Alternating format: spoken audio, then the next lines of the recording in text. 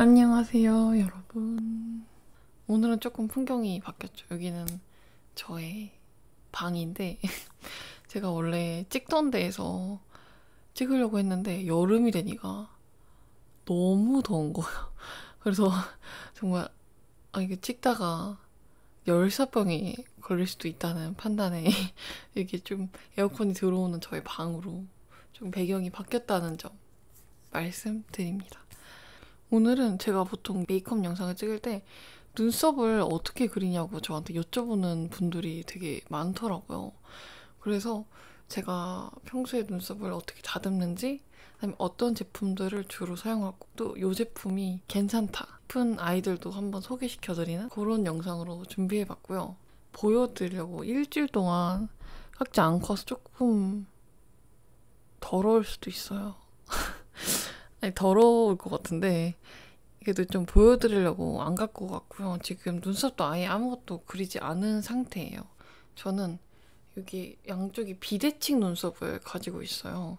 이쪽 왼쪽 눈썹이 좀 더 위로 올라가 있는 스타일이고, 이쪽 오른쪽이 살짝 아래로 내려가 있는 그런 스타일의 눈썹을 가지고 있거든요.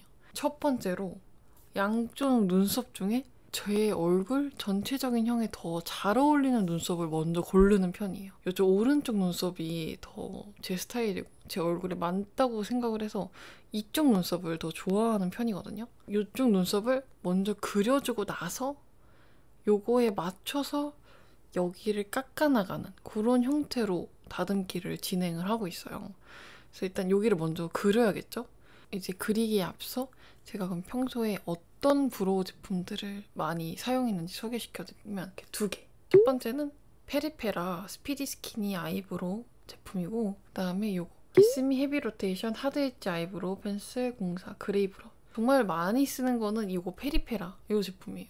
만약에 제 영상을 보시는 분들이라면 정말 정말 많이 봐서 지겨울 정도의 제품인데 요. 페리페라는 베이스를 했든 안 했든 그냥 그런 컨디션에 상관없이 되게 잘 그려지는데 또 너무 진하게 그려져서 좀만 그리면 갑자기 확 짱구 눈썹처럼 되거나 또 너무 이제 초보자 분들을 위해서 만들어졌다고 하면서 너무 연하게 발색이 돼서 막 계속 그려도 막 이 눈썹만 아프고 할 정도로 안 그려지지 않는 정말 적당히 잘 그려지면서 너무 진해지지 않는 딱 그런 발색을 가지고 있고 제 눈썹 모 조금 갈색 모를 가지신 분들은 정말 딱 예쁘게 잘 쓸 수 있는 그런 색깔이거든요. 너무 튀지도 않고 진짜 눈썹에 잘 어울리면서 그리고 가격적인 부분에 있어서도 정말 압도적으로 싸다고 생각해요. 저는 보통 그래도 만 원 초반대 정도를 한, 하, 한다고 생각하거든요. 눈썹 보면 만 원 초반 좀 비싸면 만 원 후반대?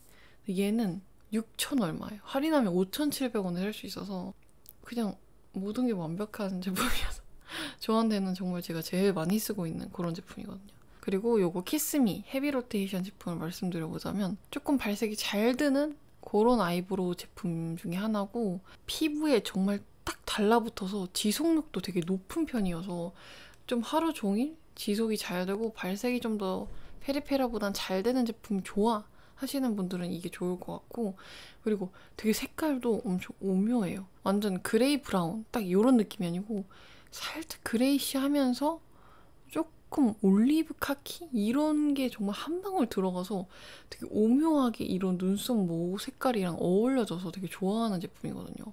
그래서 저는 저보다 좀 더 머리 색깔이나 눈이나 이런 털의 색깔이 진하신 분들이 사용하기에 정말 딱 좋은 그런 제품이라고 생각해요. 자, 이제 이렇게 제가 평소에 좋아하는 그런 eyebrow 제품들을 소개시켜 드려봤고, 저는 오늘 어김없이 이 페리페라 제품을 사용해서 눈썹 다듬기를 해볼 거예요. 일단 저는 이쪽 눈썹을 더 마음에 들어 한다고 아까 말씀드렸죠. 그래서 여기를 먼저 그려볼게요. 유분은 일단 제거하고 온 상태고 자기가 원하는 스타일로 눈썹을 일단 먼저 그려줍니다. 눈썹을 그려줬고요. 이쪽 눈썹이 정리가 안 된 상태긴 한데 제가 마지막에 같이 정리를 할 거여서 어차피 이렇게 그려준 상태에서 이제 눈썹을 대칭을 어느 정도 맞춰줄 거예요. 제가 하는 꿀팁이라고 해서 알려드리면 저는 일단 이런 티시를 준비합니다. 이런 티시를 그냥 한 여기에서 여기까지 이어질 만큼 이렇게 자른 다음에 이런 진한 색 섀도우 아무거나 상관없어요. 진한 색이기만 하면 되거든요. 아주 그릴 때 사용하는 거여서 이거를 이 치실에다가 이렇게 놓고 묻힐 거예요. 저는 이쪽을 교정할 거기 때문에 여기는 안 묻혀도 되겠죠. 한쪽에만 묻히는 거예요. 이렇게 손으로 여기 이렇게 묻었죠. 요거를 가지고 평행을 이렇게 그려줄 거거든요. 일단 위에 부분 먼저 시작할게요. 여기를 놓고 이렇게 사람이 이게 사람인지라 자기 눈썹을 이렇게 맞춰서 그리게 돼 있거든요. 하다 보면 최대한 매지가이를 살짝 해주세요. 매지가이를 하면서 여기다 대고 이렇게 살짝 평행 그려주는 거죠. 이렇게 하면 여기까지 이 위에 부분은 다 잘라야 되는 부분이겠죠. 저는 이미 많이 제거가 된 상태인데 여기 조금 더럽지만 여기 아이들을 제거를 해주면 된다는 말입니다. 그 다음에 또 중요한 거는 여기서부터 이 끝라인도 되게 중요하거든요. 이 길이감도. 그래서 이렇게 봤을 때 이 각도가 눈에서부터 이 정도로 올라가잖아요. 이것도 똑같이 내 눈에서 여기까지는 올라가 줘야 된다. 그래서 한번 딱 찍어줍니다. 이렇게. 이 아래 점도 되게 은근히 그리다 보면 신경이 쓰이거든요. 이렇게 평행을 맞춰서 그려줍니다. 그럼 이렇게 어느 정도 가이드라인이 생겨요. 되게 디테일한 가이드라인은 아닌데 이 정도 가이드라인을 먼저 저는 그려주고 나서 시작하는 편입니다. 이제 이 가이드라인 위나 아래로 떨어지는 애들은 다 내가 좀 깎아준다 라고 생각하고 눈썹을 다듬으면 됩니다. 자 이제 보시면 다 이렇게 깎아줄게요. 위에 있는 애들은 원래 최대한 안 깎는 게 좋거든요. 되게 눈에 잘 띄기도 하고 지저분해 보여요. 근데 저처럼 비대칭이 너무 심하면 어쩔 수 없이 깎아줘야 되더라고요. 그 여기 아래도 이 선 아래로 떨어진 여기 살짝 지저분한 아이들 있죠. 얘도 다 정리해줄게요. 이렇게 살짝 닦아주고 눈썹 털들을 그 다음에 이제 눈썹을 그려줄 건데 눈썹 그리는 거는 되게 쉬워요. 정말 너무 똑같은 형태로 그려준다기보다는 나의 이 눈썹, 눈과 요 전, 요 전체적인 분위기를 해치지 않는 선에서 그려주려고 하거든요. 그래서 아까 가이드라인을 그린 요 정도. 요만큼 채워줘야겠죠, 당연히. 여기 없었던 애들이니까. 어, 그리고 제가 끝을 살짝 아래다 그렸는데 조금 더 올라와 줘야 될 것 같아요. 이 각도에 맞춰서 한 요 정도 다 생각을 해주시고 여기 끝이랑 얘를 살짝 이어줍니다. 그러고 나서 얘를 채워주면 돼요. 아까 그렸던 가이드라인을 조금 닦아줄게요.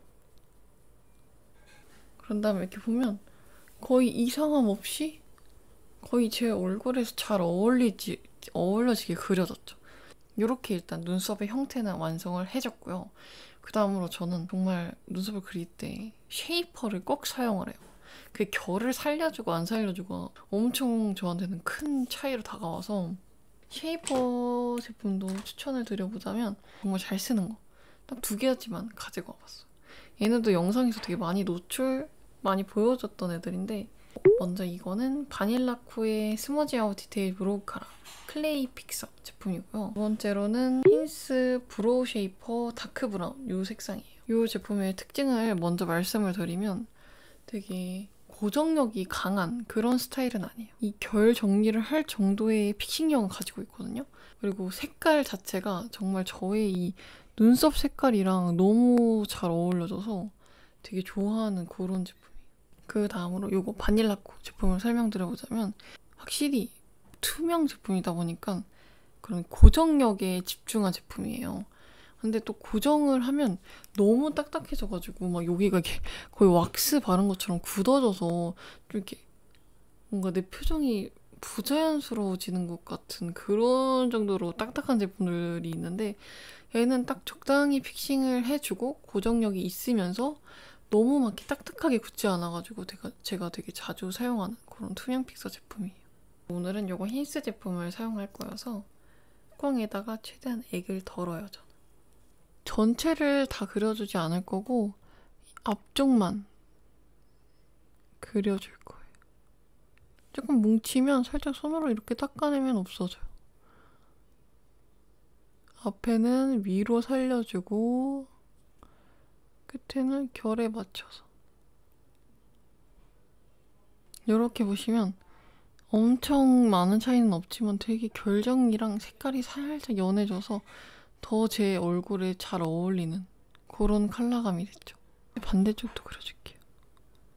살짝 앞쪽은 세우고 뒤쪽은 살짝 이 결 방향대로 이렇게 하면 제가 평소에 그리는 눈썹이 완성이 됐거든요. 앞은 살려주면서 뒤는 적당하게 완만한 그런 스타일 저는 그린답니다. 길지는 않은 영상이지만 저처럼 조금 비대칭 눈썹이 있으셔서 좀 고민이셨던 분들이나 내추럴하면서도 결을 살리는 눈썹을 좋아하시는 분들이 저의 추천템들이 도움이 되었으면 좋겠네요. 오늘도 영상 봐주셔서 감사드리고 우리는 또 다음 영상에서 만나요. 안녕.